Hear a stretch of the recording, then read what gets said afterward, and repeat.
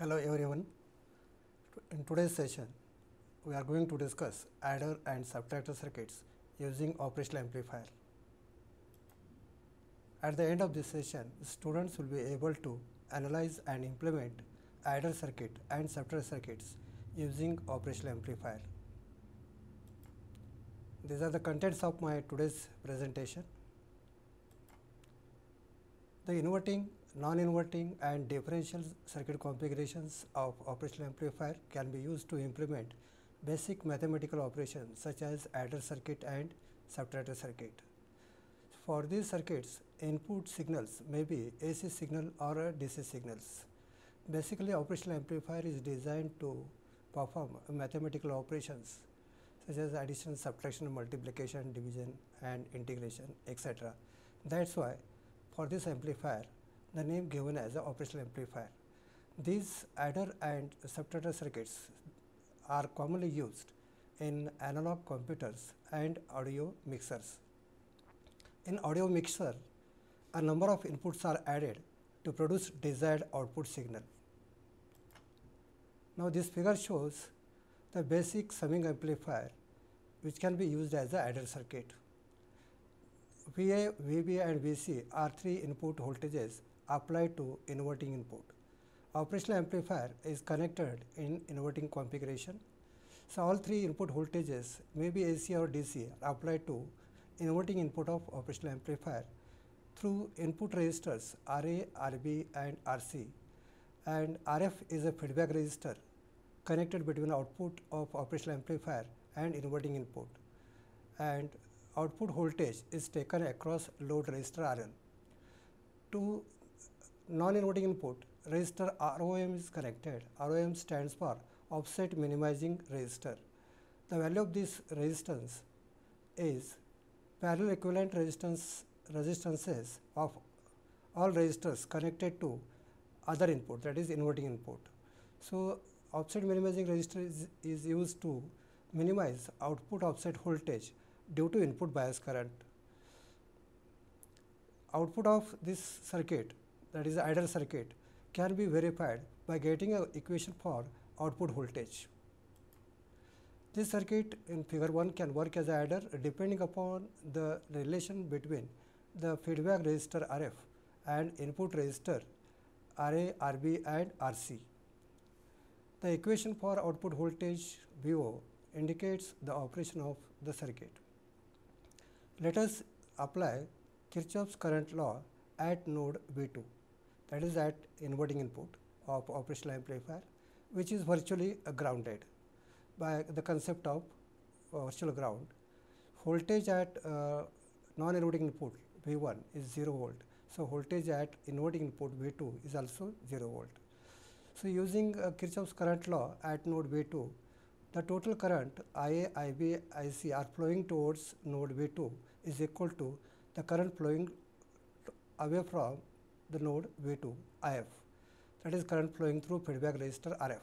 So, IA plus IB plus IC is equal to IF as the input resistance of operational amplifier is ideally infinity and practically it is very high and open loop gain of operational amplifier A are very large ideally infinity.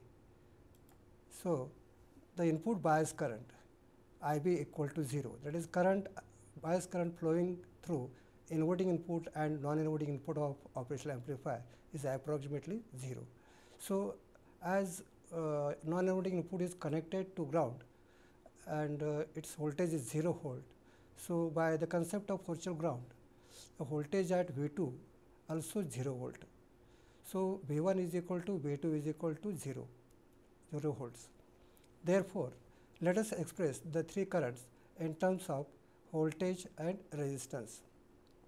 So, for current I we can write VA upon RA plus for IB we can write VB upon RB plus for current IC we can write VC upon RC is equal to minus into bracket VO upon RF that is voltage at V2 in the sense voltage at inverting input is 0 volt. So, that is why the current flowing in the feedback circuit is minus VO upon RF. So, output voltage VO is equal to we can simplify minus RF upon RA into VA plus RF upon RB into VB and plus RF upon RC into VC. So, the gain offered by the summing amplifier that is adder circuit to every input VA, VB and VC is a ratio of feedback resistor to input resistor. If in this uh, circuit all resistors RA, RB and RC and RF are of same value, selected same value, then gain of this circuit is equal to 1. So, output voltage that is gain of the circuit RF upon R that is RF is equal to R that is gain is equal to 1. So, output voltage is minus VA plus VB plus VC. So, this equation indicates that the output voltage is negative sum of all the input voltages. Hence, the circuit operates as a adder circuit. Now, let us go for op amp as a subtractor. So, this figure shows the basic uh, differential amplifier using operational amplifier. It can be used as a subtractor. This circuit has two inputs, uh, both input voltages are positive VA and VB. These input voltages may be AC voltage or DC voltage applied to voltage VA is applied to inverting input through resistor R, input resistor R and voltage VB is applied to non-inverting input through resistor R. The operational amplifier is biased with dual DC power supply plus VCC and minus VEE and the voltage divider is used at the non-inverting input using same value of same value resistors and output is taken across load resistor. So, the resistor R same value of resistor is connected between inverting input and output terminal of operational amplifier. A basic differential amplifier can be used as a subtractor as shown in this uh, figure 2. Selecting all external resistors of uh, same value so that gain of amplifier becomes 1. The function of this circuit can be verified by output voltage equation. Uh, the circuit has two inputs uh, voltage VA and voltage VB. Therefore, let us use superposition theorem in which we consider only one input voltage at one time, other input voltage uh, can be assumed 0.